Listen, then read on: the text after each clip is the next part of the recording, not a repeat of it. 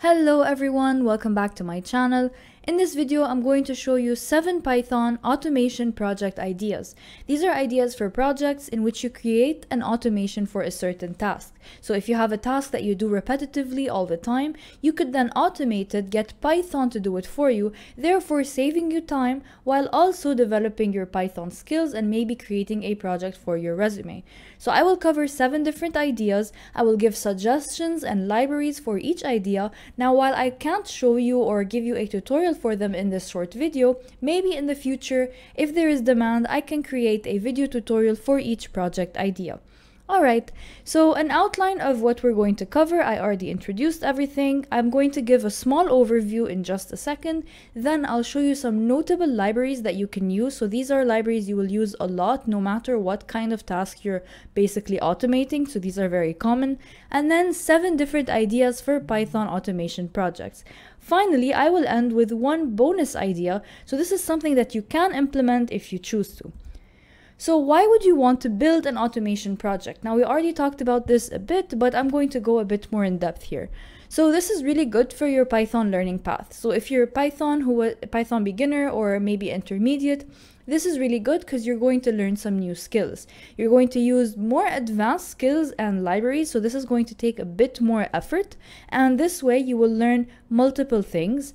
And also you may use APIs. Now APIs are really cool because they demonstrate that you are an advanced programmer. If you use an API for any website or service online, this definitely gives your project more complexity and more depth.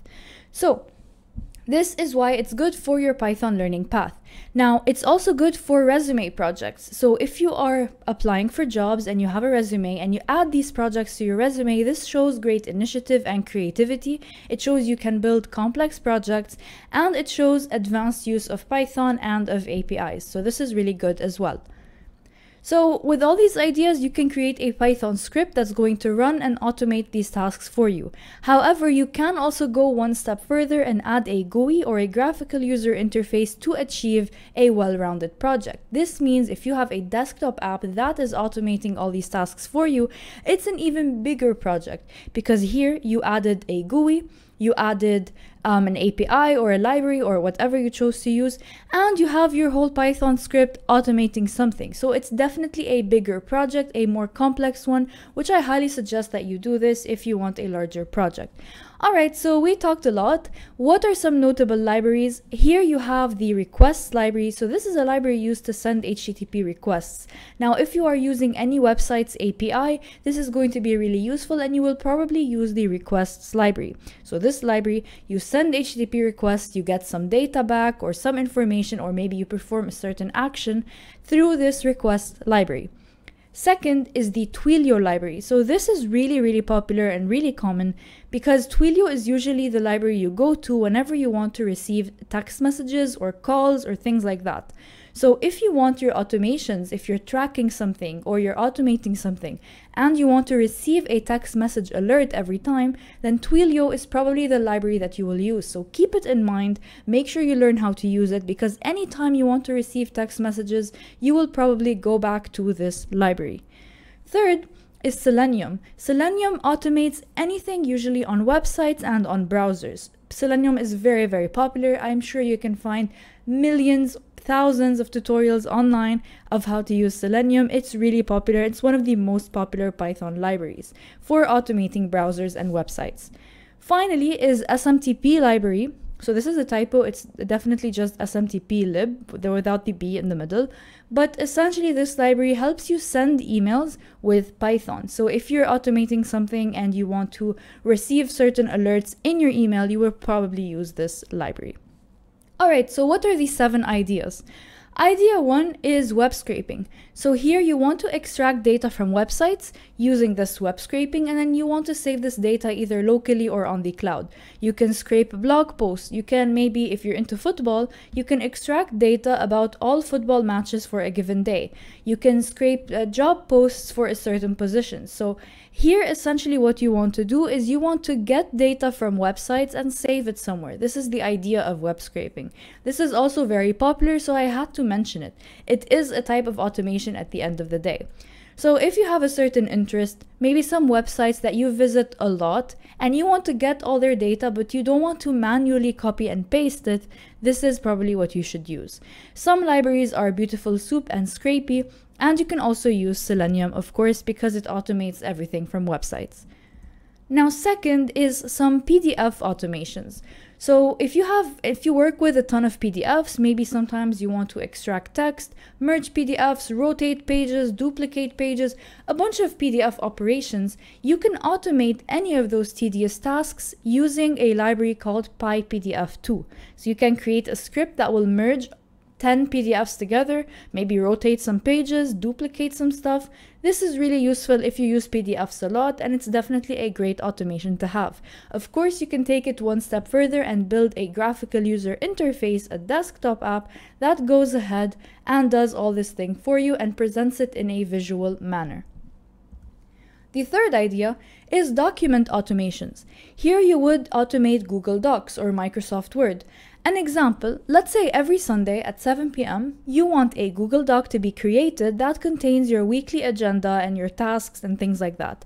So you can create a Python script that uses the Google Docs API and then on every Sunday at 7 p.m., this script, what it should do is create a new document that already contains a template for your weekly plan. So here you're creating a document based out of a template. Of course, you can use Google Docs, so the Google Docs API. You can use Microsoft Word. So there's a library for this. It's very simple called Python-docx. So you can go ahead and use that one for Microsoft Word. And of course, this is just a suggestion, the whole weekly agenda. You can use it to create any template of documents. Let's say you want to create 100 documents for some random reason. You can go ahead and do that using the Python code. Now, idea number four, automate WhatsApp replies. So you can have a Python script that automates replying to your WhatsApp chats when you are busy. So let's say, for example, you schedule four hours of deep, uninterrupted work. You do not want anyone to text you. You want to focus completely on your work. You have a deadline or something. Maybe you do this daily. So you can do an automation where this Python script will use WhatsApp web from your desktop and what it will do is it will reply to all your new chats at work will reply later or busy will reply later things like that. Now you can use the requests library with the WhatsApp API you can use Selenium to automate WhatsApp web in your browser. So of course there are multiple ways you can go about doing this but these are some suggestions. Now idea number 5 you have a finances or a crypto tracker. Now, if you have a lot of investments or cryptocurrencies, you can use the APIs provided by online brokers to maybe create a dashboard that tracks these investments, shows you whether your investments are high or low that day. You can create a visual dashboard with charts and graphs and all those things. Or you can just create one that will check your investments and send you the daily value as a text message or an email. So this goes back to using Twilio or the SMTP library to either get emails or WhatsApp chats indicating your investments and what's going on with them that specific day. Now, here I also listed another example. Create a dashboard, tracks your crypto investments using the Binance API. Binance is a very, very popular broker used worldwide. So if you use Binance, you can use the API and keep track of everything you have in your account. Now, you can also use the CoinMarketCap API. So CoinMarketCap uh, Cap is a website that has all the information about cryptocurrencies. So you can use that to get any information about the value of cryptocurrencies on a specific day. Now, idea number six is let's say you're really into movies or TVs, uh, series, things like that. You want to keep track of anticipated release dates. And this is actually something that I use personally because I um, into lots of movies that, and I always like to keep track of when they're coming out. So I used to put these in my calendar, and it would be very annoying to have to go manually insert an event in your calendar and be like, this movie is being released on X day in November, for example. So you can build a tracker that will keep track of your anticipated movie and TV series. So you'd keep track of the dates, and then you could potentially receive email alerts or text message alerts, like we talked about before, when an anticipated movie drops. So you can use the IMDb API or the IMDb Py library. So the first one is an API, you would access it using the requests library. The second one is a wrapper for the IMDb API, so this is much easier to use. So it's up to you which one you use, but this is definitely another automation idea. And finally, the seventh idea is automate news sources. So if you have multiple websites that you visit on the daily, so you can get your daily news, maybe one of them is about sports, one of them is about politics, one of them is about tech. So these are all different sources. You can create a script that will go on these websites every day, retrieve all the new news for you and send it to you in one email. That way, Every day you can wake up and check this one email and read the news the news from all these websites in a single page or one specific place. So the libraries you can use a web scraper of course like Beautiful Soup and then you can use SMTP to send the email to yourself. So we've covered these seven different ideas as well as some suggestions. The final, final idea, the bonus idea that I talked about is something that's going to be specific to you. So I obviously cannot predict what you guys do on the daily. Everyone has different work tasks, different things that they do every single day. Look at the things that are mundane that you do every day that take up a certain amount of time and then try to automate your own tasks. Believe me, I'm sure there is one library or one API out there that you can use with Python to automate this specific task. So I gave some suggestions, but I'm pretty sure if you take a look at your own life, you can find things that you can automate. And this will be a great project that you create that you can use every day and you can also list on your resume.